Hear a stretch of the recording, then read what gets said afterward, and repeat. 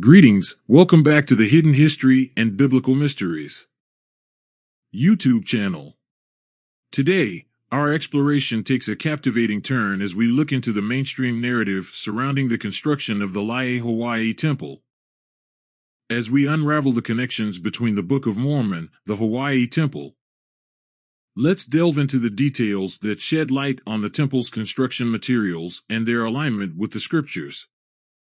In the Book of Mormon, specifically 2 Nephi 5.16, Nephi details the construction of a temple, stating, And I, Nephi, did build a temple. And I did construct it after the manner of the temple of Solomon, save it were not built of so many precious things. This scriptural reference adds a profound layer to our exploration, emphasizing the scarcity of certain precious materials in the new land. Now, turning our gaze to the Laie Hawaii Temple, we find that it was constructed using native materials, including crushed lava rock and reinforced concrete. The temple's gleaming white finish, achieved through pneumatic stone cutting techniques, stands as a testament to the ingenuity of its builders. Koa wood accents adorn the temple's interior, contributing to its unique and culturally rich design. Importantly, this choice of construction materials echoes the scarcity of precious resources mentioned in the Book of Mormon. The temple builders, faced with a shortage of wood, a scarce commodity on the islands, encountered a fortuitous turn of events. According to Mormon folklore, a ship ran aground, and its cargo of wood became available just in time to complete the temple construction. This aligns with the Book of Mormon's assertion that the temple was not built of so many precious things, as the materials naturally found on the island were utilized in its creation. As we consider these parallels between scripture and historical construction, a thought provoking narrative emerges.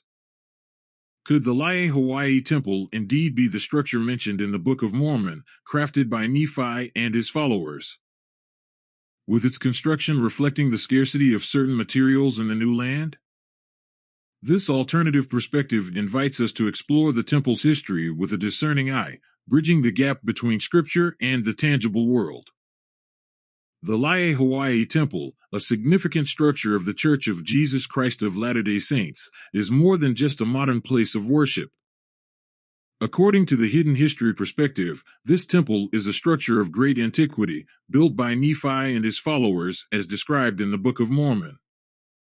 The Book of Mormon recounts that Nephi's group constructed a temple after the manner of the Temple of Solomon, save it were not built of so many precious things.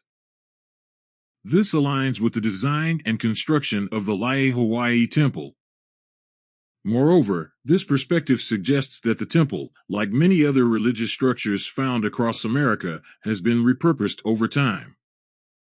A modern narrative has been assigned to it, potentially to cover up its true antiquity. Most Mormons, like most Christians, believe that the promised land of the Bible is the Middle East.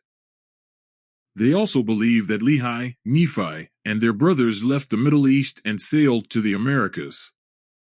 But what if they got it all wrong?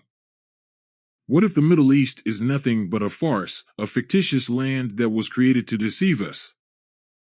What if the real promised land, the real holy land, is right here in North America?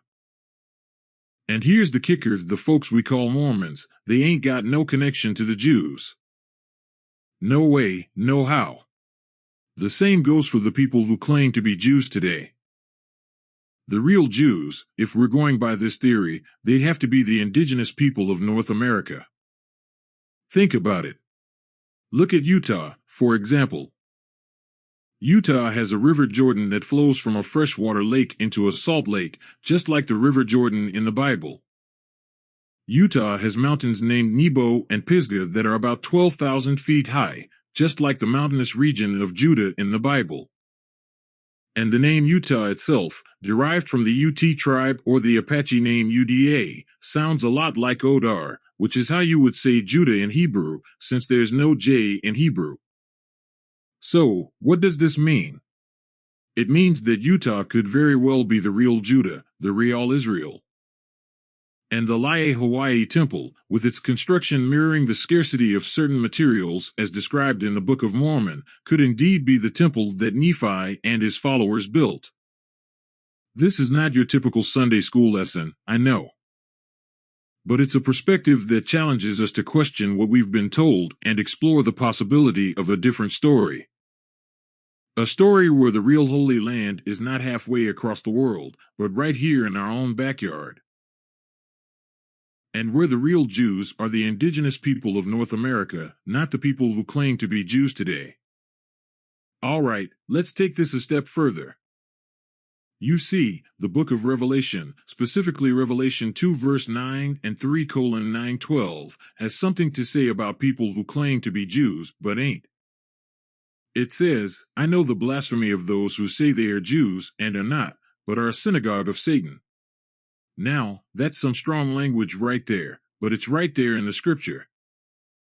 So, what does this mean for our theory? Well, it adds another layer to it.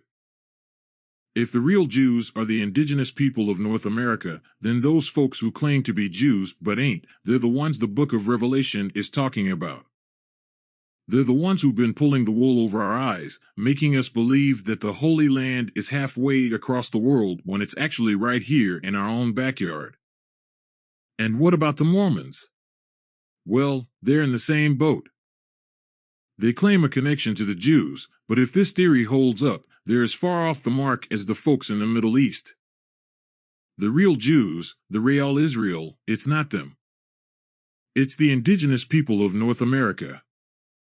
The Mormon Temple in Utah, a grand structure that rivals any castle in Europe, has a fascinating history.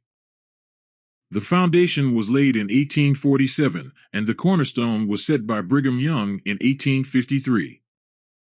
All this, according to the official narrative, of course. The story goes that after a long trek through the wilderness to find the perfect spot for their temple, they decided to travel 20 miles back and forth with oxen hauling blocks that weighed between 2,500 to 5,000 pounds. And then, these horse and buggy folks, they built this magnificent structure. But here's where things get interesting. Because this narrative is just a cover up. And this temple has been there for thousands of years, probably harnessing free energy. What does this narrative say about the so-called construction of all the temples by religious institutes, especially the Latter-day Saints? What does it say about any of the temples or town halls built in America and their fancy construction that seemed impossible for the time? They were built in.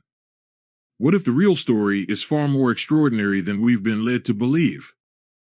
So, next time you hear someone talking about the Holy Land in the Middle East or the Jews in Israel, remember this theory. Remember the indigenous people of North America, remember Utah, and remember the Laie Hawaii Temple. And most importantly, remember to question what you've been told and explore the possibility of a different story. Because the truth, it might just be stranger than fiction.